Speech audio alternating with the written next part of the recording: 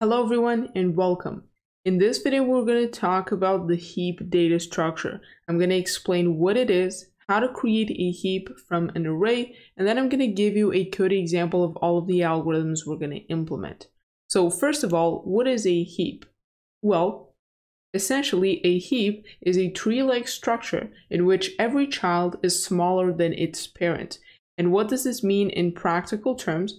Well, first of all, it means that the top of the heap, which is called the root, is the largest element in the heap, and it also means that as you go down in the heap, the elements get smaller and smaller. Now, a couple of technical terms before I actually explain how to create a heap.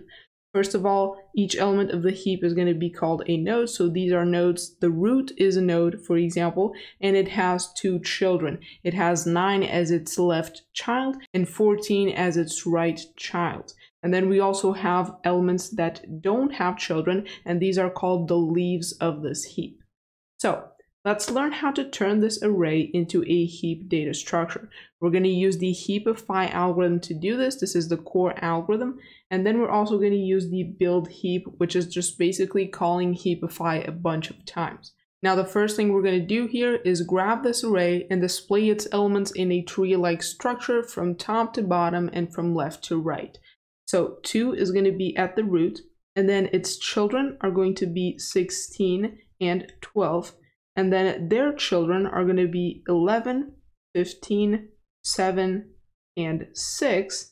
And then their children are going to be 10 and 20, and there are no more children. Now, this is obviously not a heap, so let's learn how to apply heapify to turn this into a heap.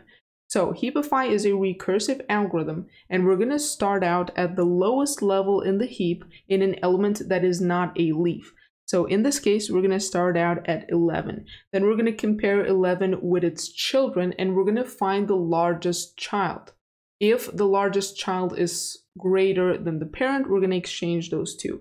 Now 20 is obviously greater here than 11, so we're going to change those two. 11 is going to go here, 20 is going to go here. Now 11 is at its new position. Does it have any children? No, so we can move on. We're going to go now to 16. Does it have a larger child? Yes, it does, 20. So we're going to exchange those two. Now, does 16 still have a larger child? No, it doesn't. So we're going to move on to 2 here. So 2 obviously has a larger child. We're going to exchange 20 and 2. Now, does 2 still have a larger child? Well, yes, right? It's 16 and 15 are both larger than 2, so we're going to have to reapply heapify to 2, and we're actually going to pick 16 here, which is the largest, so we're going to exchange those two. Now, does 2 still have a larger child? Yes, yes it does. We're going to pick the largest, which is 11, and we're going to exchange those two. And now, does 2 have a larger child? No, it is already in its correct position, and so we have created a heap successfully.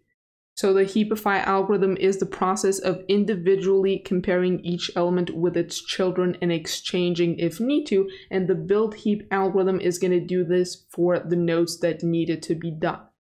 So the end result of this array is going to be 20, 16, 12, 11, 15, 7, 6, 10, and 2. So this is going to be the final result here, and this is how our array is going to be uh, displayed in the end. Now let's talk about a couple of more things. So first of all, given a certain node at index i, we know a couple of things about its parent and about its children. So the first is its parent is going to be at the position i plus 1 divided by 2 minus 1.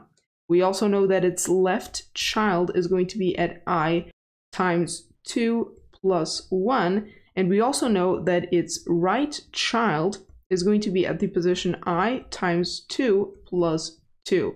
And these are formulas that we know, right? We are certain of this and we can use this anytime we want. Now, this only works for zero indexed heaps. This means that the indexes start at zero and the root is at the index zero, okay? And the last thing I want to talk about before we get into the code is going to be the time complexity. So first of all, heapify. The time complexity of this is going to be log of n, right? So to put each element in its correct position, we're going to have to go through, in the worst case, a branch, right? A, an arm of the tree. And so this is going to give us log of n. And then we have build heap. And the complexity of this is going to be n, which is the number of nodes that we have in our heap. So this combined is going to give us a complexity of O of n log of n in order to build a heap. And that is all I wanted to talk about for the explanation. Now let's get into the code. Alright, so I'm here at VS Code, and let's actually apply the algorithms that we've learned. The first one I'm going to do is going to be heapify. This is going to take in our array, the heap size, which is really just the length of the array, and the index to which we're going to apply this algorithm. Now in here we need a couple of variables. I'm going to create a largest equal to i in the beginning, and a temporary variable for when we have to exchange. Then we need the children here of our node. I'm going to say that the left is going to be i times 2 plus 1, and the right is going to be i times 2 plus 2, like so. So that's going to be the left and the right index, and these formulas work for zero indexed heaps. Then I need to check which one of the children is the largest, because that's the one we're going to exchange with. So I'm going to say if left is smaller than or equal to the heap size minus 1 and the array at largest is smaller than the array at left, then I'm going to set the largest here to be the left. So basically what this means is if left is a valid index of our array, if it is smaller than or equal to heap size minus 1, and the array at largest is smaller than the array at left, then that means that the largest is the left, right? And we're actually going to do the same thing for right. So I'm actually just going to copy this, paste it, and I'm going to choose, uh, I'm going to change here left to right, like so. So now largest is going to contain the largest child, right? Then I'm going to say if our largest is different than i, so if we've actually picked a child, if we have actually have a child that is larger than our parent, then we're going to exchange. So I'm going to say temp equals AI, then AI is going to be A at largest, oops, largest like that.